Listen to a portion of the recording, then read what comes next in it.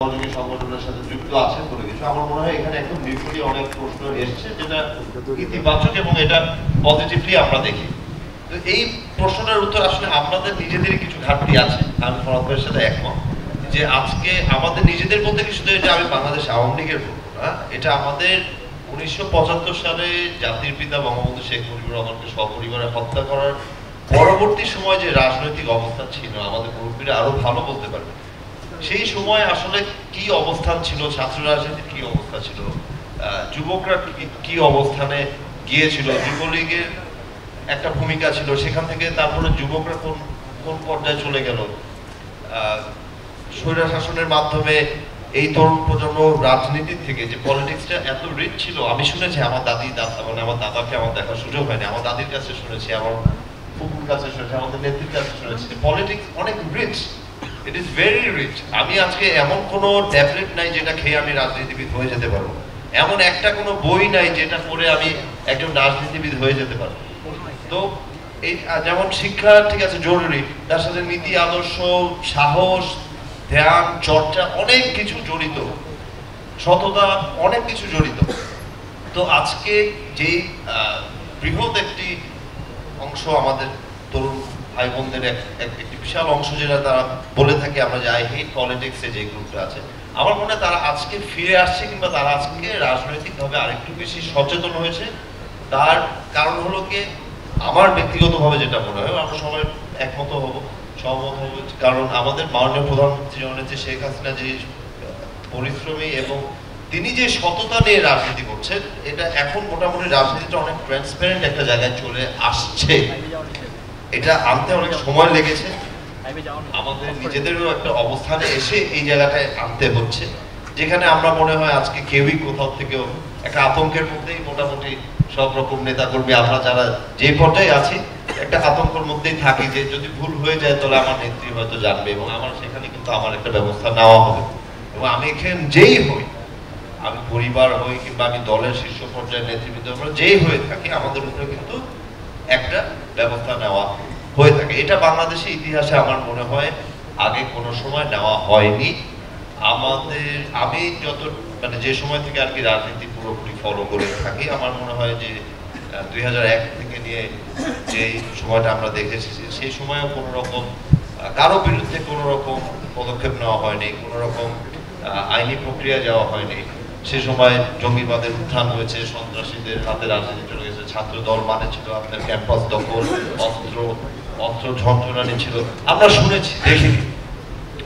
এবং আজকে আমরা যে পর্যায় থেকে, যে পর্যায় থেকে আমরা ফিরে ফিরিয়ে নিয়ে আসার চেষ্টা করছেন আমাদের মাননীয় প্রধানমন্ত্রী, আমরা যদি সক্ষম হতে পারি, সময় লাগে।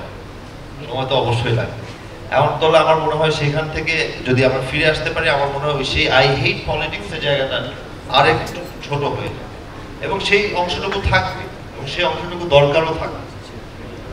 আর রাজনীতি হাউ টু এন্টার পলিটিক্স মানে একজন আমাকে যে একজন ভাই জিজ্ঞেস করলেন, স্কুলের ওনার আছে, উনি, ওনার প্রশ্ন ছিল যে কীভাবে পলিটিক্সে আসা যায় রাজনীতিকে প্রথম প্রশ্নই আসতে হবে যে আমাকে যেটা প্রশ্ন করা হলো যে তুমি রাজনীতি কেন করতে চাও? আমি কিন্তু বাংলাদেশে আসার আগে আমি আট বছর বাইরে ছিলাম, আমি সেখানে পড়াশোনা করার পরে আমি চাকরি করেছি, তারপর আমি আমার ছিলেন, আমি আমার পরিবারে যারা মুরব্বীজনরা ছিলেন, আমি তাদের সাথে আলাপ করি যে আমার চাকরির জীবনটা আর ভালো লাগছে না নটা থেকে পাঁচটা বলতাম এটা আমার আর ভালো লাগছে না, আমি দেশে ফেরত আসতে চাই। তো আমাকে সে সময় কিন্তু প্রায় ছয় মাস যাবত একটি ইন্টারভিউর মধ্যে থাকতে হয়। দেশে এসে কি করবে এবং রাজনীতি যদি করব তাহলে রাজনীতি কেন করব?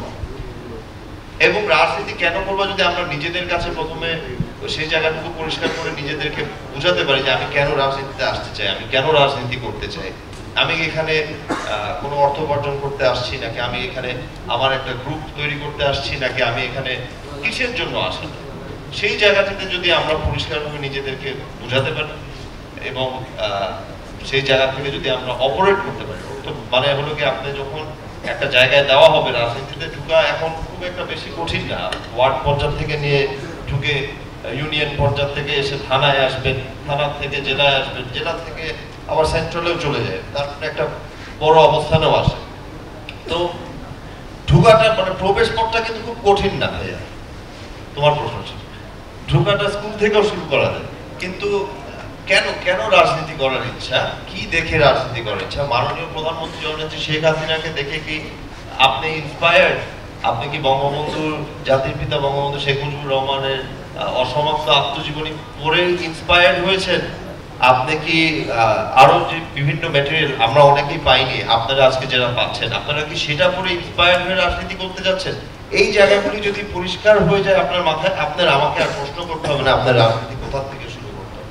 এই প্রশ্নগুলি যখন আপনি নিজে জানবেন তখন আপনি রাজনীতি আপনি আপনার প্রবেশ পথ আপনি নিজেই শুরু করে ধন্যবাদ।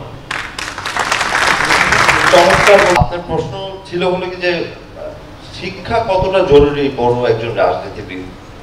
হতে এটা কতটুকু কাজে আসে? তো আমার এখানে, আমি যাদের সাথে বসে আছি আসলে খুব আমি এখন এরকম একজন বড় রাজনীতিবিদ হয়ে উঠতে পারিনি। আমরা শিখছি, আমার ওনাদের হাত ধরে শিখব, যারা আছেন এখানে উপস্থিত, যারা আছেন, আমরা এখন ট্রেনিংয়ে আছি। তো আমার ব্যক্তিগতভাবে যেটা মনে হয় যে আমাদের পারিবারিক ভাবেও একটা শিক্ষার উপরে একটা চাপ দেওয়া হয়েছে। তা আমাদের, আমার যা বড় ভাইরা আছেন, আমার বোনরা আছেন সজীবতের জয় আছে পুতুলাপা আছেন, ববি ভাই আছে আমাদের সকলকেই একটা সময় দেশের সব সুযোগ সুবিধা বাদ দিয়ে এই আরাম আয়েস বাদ দিয়ে আমাদের কিন্তু বাইরে একটা অনেক লম্বা একটা সময় কাটাতে হয়েছে পড়াশোনার জন্য। তো পার্থক্যটা এটাই হয়ে দাঁড়ায় যে আজকে আমরা এভাবে এসে রাজনীতি করার চেষ্টা করছি। আর আমাদের যারা প্রতিপক্ষ ছিল, তারা যে ধরনের রাজনীতি প্রতিষ্ঠা মানে প্রতিষ্ঠিত করতে চেয়েছে, এই জায়গাটা একটা বড় পার্থক্য হয়ে দাঁড়ায়। আর সেটা সেটার বাদেও রাজনীতিবিদ হতে আমার মনে হয় আমাদের সার্টিফিকেট কিংবা আমাদের যে কারিকুলাম আছে, সেগুলির বাইরে আমাদের পড়াশোনার একটা চর্চা থাকতে হয়। বিভিন্ন বিষয় জানতে হয়, সবসময় জানার একটা আগ্রহ রাখতে হয়। এটা আমরা আমরা যতটুকু আমাদের মুরব্বীদের কাছ থেকে দেখেছি, আমার কাছে মনে হয় এটা আপনার একটা পিলার হিসাবেই ধরে নেওয়া যে আদর্শের সাথে শিক্ষাটাও যেন সেই জায়গাটায় থাকে। একটা মানুষ যখন রাজনীতিবিদ কিংবা রাজনৈতিক চিন্তা ভাবনা নিয়ে আগাতে থাকে, তখন শিক্ষার সাথে আদর্শ থাকে, আদর্শের সাথে নীতি থাকে, নীতির সাথে আরও অনেক কিছু জড়িত থাকে। সেই জায়গাগুলি সবকিছু একসাথেই কাজ করতে হবে শুধু এক শিক্ষাতেই হবে না, এক শুধু আদর্শ দিয়েও হবে না নীতি দিয়েও হবে না সবকিছু নিয়ে কিন্তু দক্ষতা প্রমাণটা আছে যেটা আমাদের মাননীয় প্রধানমন্ত্রী জননেত্রী সেই ক্ষেত্রে আসলে প্রমাণ করছে ধন্যবাদ আপনাকে পেয়েছি। ধন্যবাদ মাননীয়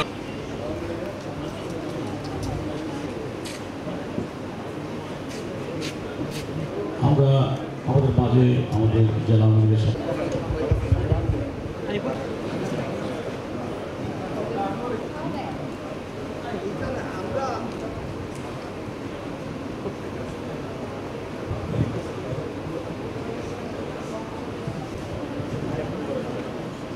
আপনাদের কাছে অনুরোধ থাকবে আপনারা এখন একটু এই জায়গাটি পরিষ্কার করে দিতে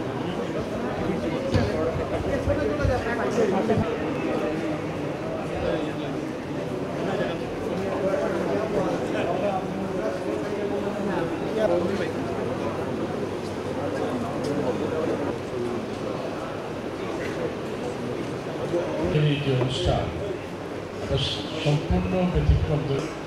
তারুণ্য উদ্দীপ্ত যারা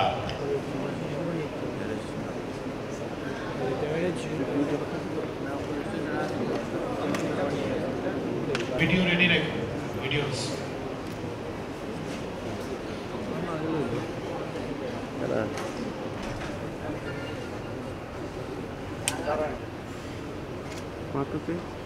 অথবা মন্তব্য। অনুরোধ থাকবে এক মিনিটের ভিতরে নিজের পরিচয়টি সংক্ষেপে দিবেন এবং সমসাময়িক বাংলাদেশ ভাগে আমরা আলোচনা করব। তো সবাইকে আসলে সেটি ছিল হাইব্রিড। অর্থাৎ আমরা যা